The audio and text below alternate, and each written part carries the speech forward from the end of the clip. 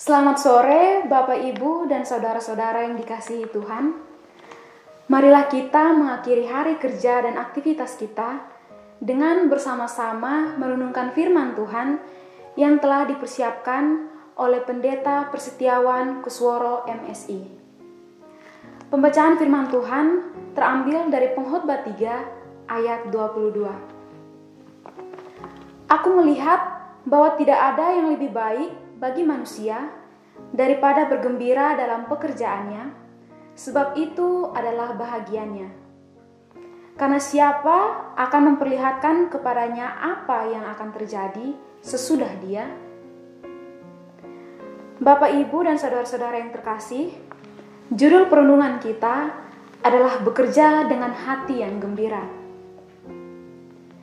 Jika kita melakukan aktivitas dengan perasaan yang berkecamuk, maka pastinya hasil dari pekerjaan itu tidak akan sempurna, malah akan menimbulkan kerusakan atau kekacauan. Contoh yang paling mudah yaitu jikalau pengemudi kendaraan sedang memacu kendaraannya dengan hati yang jengkel atau marah, maka kemungkinan akan terjadi kecelakaan lalu lintas. Contoh lain, ketika seorang juru masak atau koki membuat sebuah makanan dengan hati yang sedih, maka hasil masakannya dipastikan akan kurang sedap. Demikian juga sebaliknya, jika aktivitas yang kita lakukan dengan hati yang bersuka cita, maka akan menghasilkan hasil yang memuaskan. Aku melihat bahwa tidak ada yang lebih baik bagi manusia daripada bergembira dalam pekerjaannya, sebab itu adalah bahagianya. Karena siapa akan memperlihatkan kepadanya apa yang akan terjadi sesudah dia? Ayat ini hendak mengajarkan kepada kita tentang pentingnya hati yang bergembira.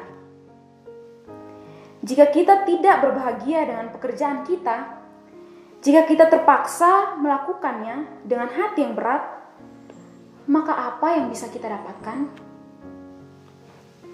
Berkeluh kesah setiap hari, mengasihi diri secara berlebihan, emosi, dan terus tidak puas dan kehilangan damai dalam diri kita. Apakah itu membawa manfaat bagi kita? Atau malah mengganggu orang lain, bahkan mendatangkan penyakit bagi diri kita sendiri.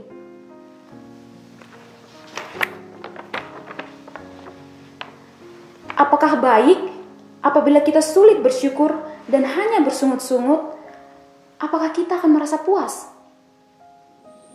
Apakah itu baik bagi diri kita, keluarga kita, bahkan bagi Tuhan? Tuhan sanggup membuat pekerjaan sekecil apa pun menjadi seindah atau seberharga emas. Mungkin ada saat di mana kita mulai merasa jenuh dengan pekerjaan kita.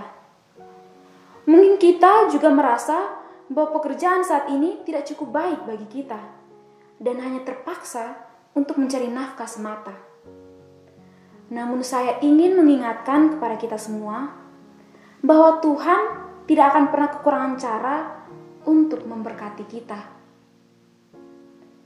Maka refleksi kita pada saat ini, sudahkah kita bekerja dengan hati yang gembira?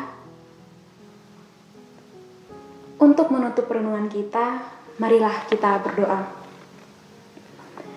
Ya Tuhan, terima kasih untuk pekerjaan yang selalu Tuhan berikan untuk kami untuk setiap tanggung jawab yang selalu Tuhan percayakan untuk kami, dan kiranya Tuhan menguatkan kami, memberikan kami hati yang teguh, dan kiranya kami selalu bersyukur dengan apa yang kami miliki.